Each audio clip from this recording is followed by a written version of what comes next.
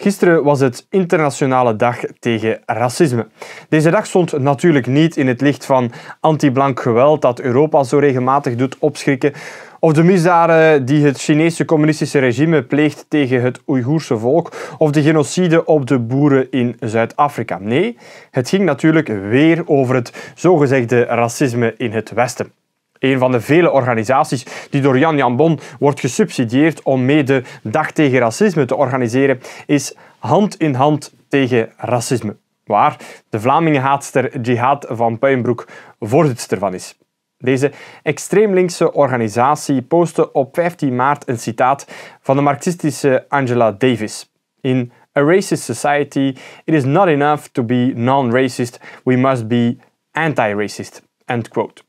Een citaat dat oproept om ideologisch woke te zijn en overal structureel racisme te zien. Een oproep tot irritant extremisme dus. Maar wie is die Angela Davis precies, die door de gesubsidieerde organisatie Hand in Hand tegen Racisme wordt gebruikt als posterlady? Wel, Angela Davis was lang lid van de Communistische Partij in Amerika. Ze schreef boeken over feminisme, ras en het Amerikaanse gevangenissysteem.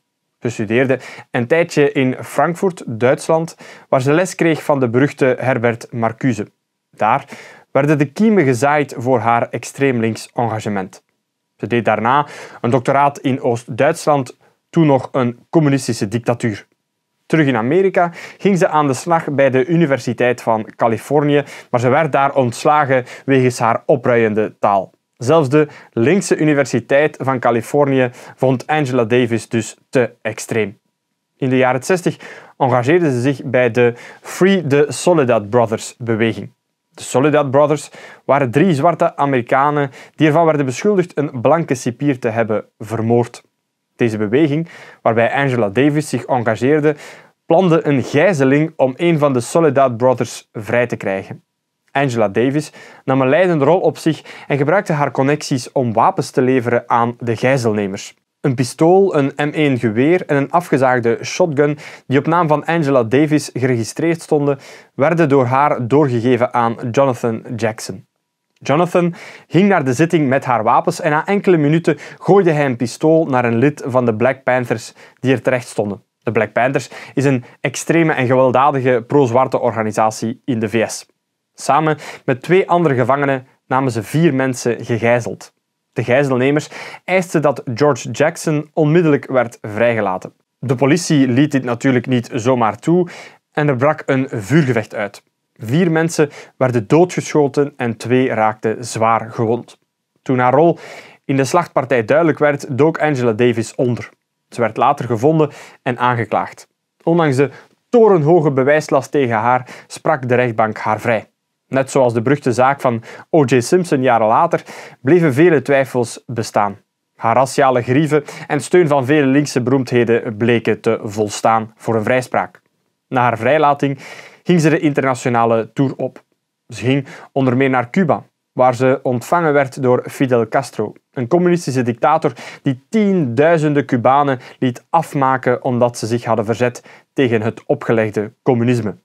Angela Davis zei dat Cuba een racismevrij land was en dat ze er daardoor van overtuigd was dat enkel het socialisme succesvol de strijd tegen racisme kon voeren.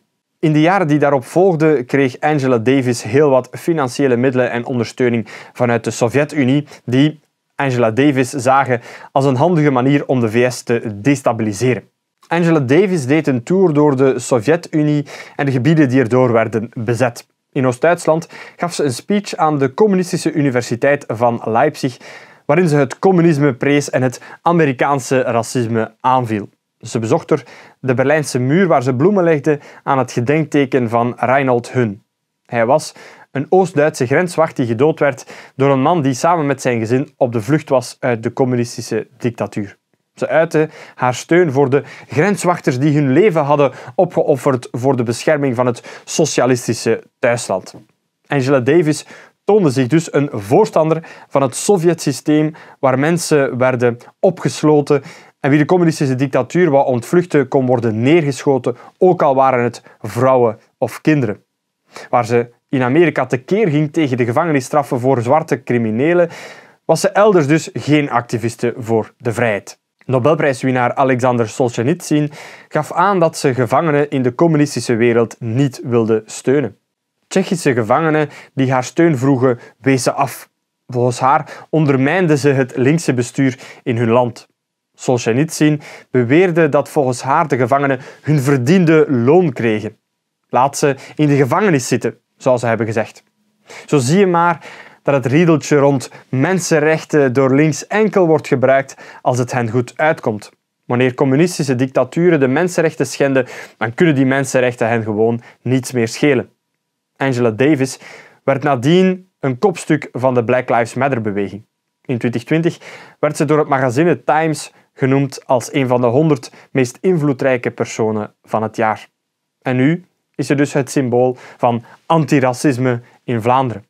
Extreem linkse organisaties die door Jan Jan Bon worden gesubsidieerd, dwepen dus met Amerikaanse terroristen met bloed aan hun handen. Allemaal zaken die gewoon passeren en waar de mainstream media geen aandacht aan spendeert. Gelukkig zijn wij er nu met ons nieuw mediakanaal om ook zulke zaken aan het licht te brengen. Wil jij er mee voor zorgen dat we meer zulk onderzoek kunnen voeren en dat we betere en meer zulke video's kunnen uitbrengen? Steun ons dan en ga naar www.kiesdries.be.